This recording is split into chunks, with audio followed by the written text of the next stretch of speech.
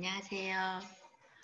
아, 저는 그 최신 이코노미스트 기사를 아, 번역해서 친구들과 블로그에 올리고 있는 중학교 영어 교사 이한나입니다. 올해 초 코로나로 인해서 집콕 시간이 되게 많아졌어. 어떻게 무엇을 할까 이제 살짝 고민을 하다가요. 왜 중학교 영어 교사인데 그 중딩하고 생활을 하다 보면 이게 전공이 영어였는지 보모였는지 막 헷갈리거든요. 그래서 정체성도 찾을 겸, 음, 그다음에 지적 허영심도 좀 자극 좀 할 겸 좀 어렵다고 하는 영국의 경제지를 선택해서 읽기로 했습니다. 처음엔 머리를 막 쥐어 짜면서 읽었는데 나중에 읽다 보니 아주 아, 기사가 재미있었습니다. 음, 온라인 세상이 사람을 되게 용감하게 만드는 것 같습니다. 처음에는 블로그에 올리는 것을 되게 망설였거든요. 괜한 망신은 아닌가. 그런데 한 7, 8개월이 지난 지금 영상까지 시도하게 되네요. 다행인지 불행인지 뭐 이렇게 어렵고 아주 고루한 음? 내용들을 뭐 저희 블로그까지 찾아와서 접하시는 분들이 많지 않을 테니 그냥 인터넷 공, 간이라는 판도라의 상자를 한번 저도 열어볼까 합니다. 아, 매주 이제 하나씩 그 자세한 내용은 앞에 보듯이 네이버에 크리스앤수 이렇게 치면 자세하게 번역이 되어 있거든요. 저희 크리스티나, 아나수 세 명이서 이렇게 시간을 보내고 있습니다. 어, 그러면 내용부터 한번 전체적인 내용을 먼저 얘기하고 그 다음에 세부적인 내용은 좀 들어가려고 하거든요. 세부적인 내용을 아주 간단하게 하려고 합니다. 아, 이 원래 이제 profits and loss 이게 제목인데요. 원래 profits and losses라는 그 표현이 회계 표현이 있잖아요. 손익 분기점 할 때 그 손익. 그런데 에, 그거에 사용을 해서 profits and loss 이렇게 쓴 것 같아요. 교수님들과 손실. 그 경제지답게 아주 위트 있는 제목이었습니다. 그 전체적인 내용을 한번 먼저 말씀을 드릴게요. 이게 그 중국의, 아, 홍콩의 그 국가보안법이 함께 그 학문적 자유를 막 말살하고 있고 그 법의 그 모호성 때문에 이게 어디든 걸면 걸리는 그런 상황이라 교수를 포함한 학자들이 모두 스스로 자기 검열을 하게 된다는 이야기입니다. 옛날에는 그 얼마 불과 몇 달 전까지만 해도 이코노미스트와의 그 인터뷰를 하면 내가 했다라고 이제 자기 이름을 올리려고 막 열성이었는데 지금은 익명으로 하기를 원하고 그 센트럴 점령 시위, 그 우산 혁명의 주역인 매니타이 교수가 바로 잘리고 해고되고 해임되고 어, 뭐, 조시아 윙이라는 그 범민주파, 그 서적, 그분의 서적은 다 도서관에서 사라진 지 오래고, 그 국가보안법이라는 것이 그 분리운동이라든지 외국과의 그 합세 등 많은 것을 위법으로 만들 뿐만 아니라 이게 취해법권인 거예요. 그래서 어디에나, 어느 나라에나 누구든지 막 적용이 되는 거니 얼마나 무섭겠습니까? 그리고 혹시 연구기금을 신청할 때도 내가 연구하는 이 카테고리가 이 중국 정부의 신기를 거슬리는 건 아닌가. 그리고 누가 무슨 연구를 하는지 데이터베이스화 돼서 내가 어느 순간 그 대학 협의회로부터 불이익을 당하는 게 아닐까 승진이라든지 뭐 이런 거에 그런 불안을 안고 지금 있는 상황입니다. 그러면 이런 현상이 왜 이렇게 문제냐 당연히 문제이기도 한데 홍콩에 관해서는 홍콩 그러면 여러분도 아시다시피 학문적 최고 지성을 자랑하는 그런 곳이잖아요. 그래서 그것 때문에 그런 탤런트, 그런 지성들, 그런 재능들 때문에 많은 글로벌한 어, 기업들이 투자를 많이 합니다. 중국에. 그게 하나의 매력적인 요소로 작용을 했는데 이제는 세계 도시로서의 홍콩의 위상은 이제 사라져서 결국은 홍콩의 경제에도 손상을 입힌다. 그런 걸 우려하는 그런 기사였습니다. 8월 23일자 아, 이코노미스트 내용입니다. 이제부터는 각 패러그래프당 중요한 것만 아, 짚고 넘어가겠습니다. 들어가 볼까요? 자, 여기 보면은 어, speak only on condition of anonymity라는 말이 나옵니다.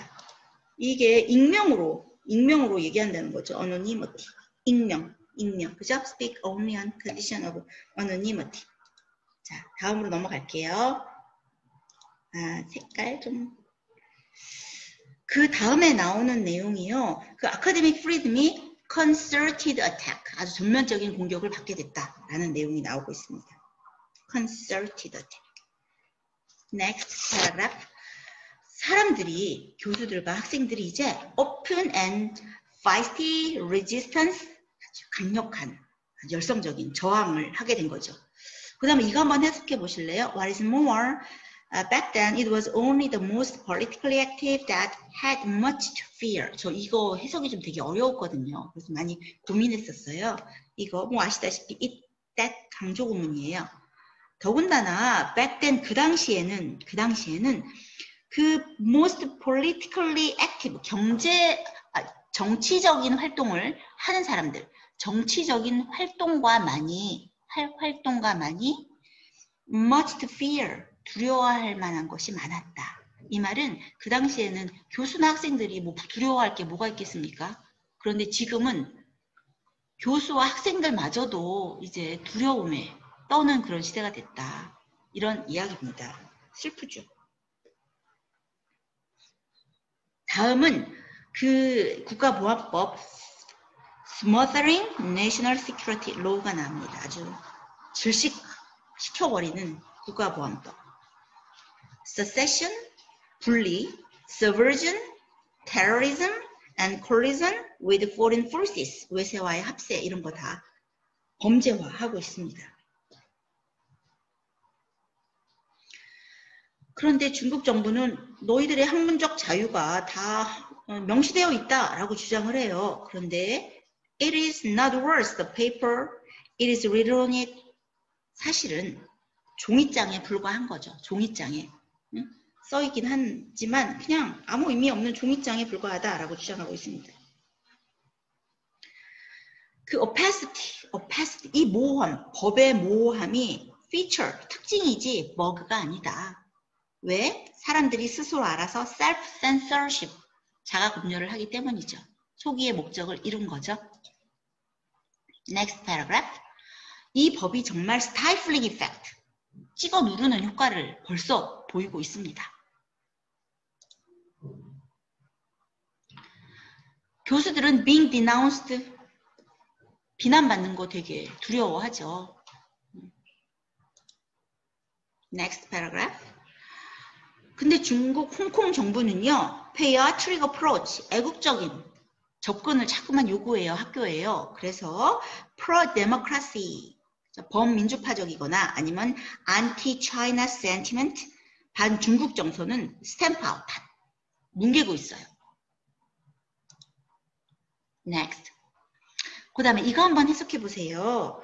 With those considered unsound being flagged up to the university councils that influence promotion, tenure, and the like. 이거 저는 번역하기가 조금 시간이 걸렸습니다. 그런데 알고 보면 되게 간단한데 그게 잘 안 되더라고요. 이게 with 명사, 분사 이 내용이에요.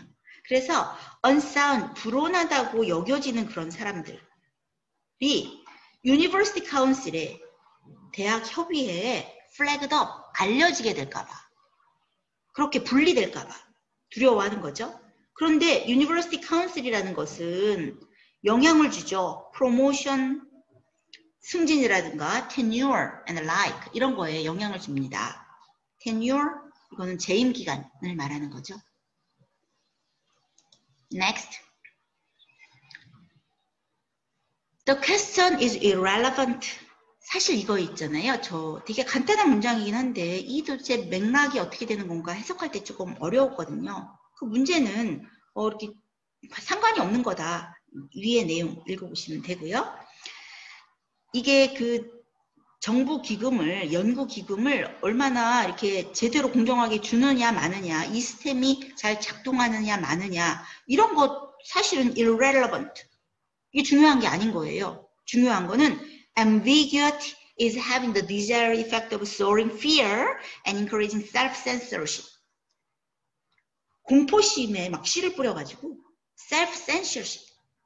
그 작가 검열을 하게끔 하는 그가 목적이거든요. 이 법의 ambiguity가 모호성이.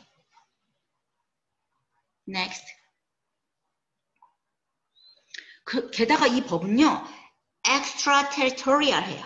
취해법권적이에요. To anyone in any country. 이렇다 이거죠. 어디나 적용이 됩니다. 무섭죠. 모든 학부들이 되게 불안해 하는데 특히 인문 학부는 뭐 민주주의 이런 걸 따져야 되니까 되게 또 두렵잖아요. 그런데 사실은 it is a myth that there are safe discipline. discipline에 학부라는 표현이 있어요. 그래서 안전한 학부가 있다 라는 거는 뭐 믿을 수 없는 근거 없는 믿음이다. 안전한 학부란 없다 라는 뜻이죠. Next. 그 홍콩이 아주 분수령이 예, 홍콩의 정세가 분수령이 된 때가 있었는데요. 분수령 watershed, watershed. Benny Tai 이 사람이 해고당했어요. 누구냐? professor죠. law professor. 음, 그 occupy movement 그 센트럴을 점령하라 라는 그 점령 운동 의 선봉자였습니다.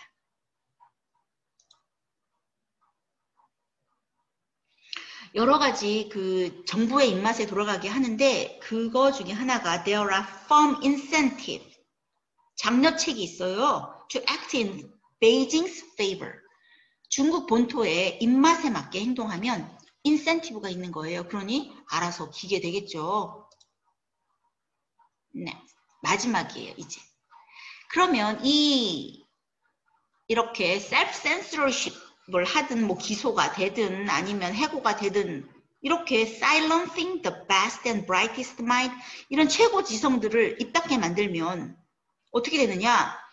leaching of talent 재능이 다 사장이 되는 거죠. 그래서 홍콩이라는 그 world class university의 위상이 사실은 그 전 세계에 투자를 다 끌어들였었 는데 이제 이 홍콩이 그렇지 않으니 더 문제는 위험에 처해 있는 것은 the world's great global city 중에 하나라는 홍콩의 위상이 아주 위험에 처해 있다라는 이야기입니다. 이 내용이 도움이 되셨으면 좋겠습니다. 자세한 번역 내용은 머리를 쥐어짠 자세한 번역 내용은 저희 블로그에 올라와 있거든요. 그래서 한번 보시면 혹시 도움이 되실 수 있을 것 같습니다. 수고하셨습니다. 감사합니다.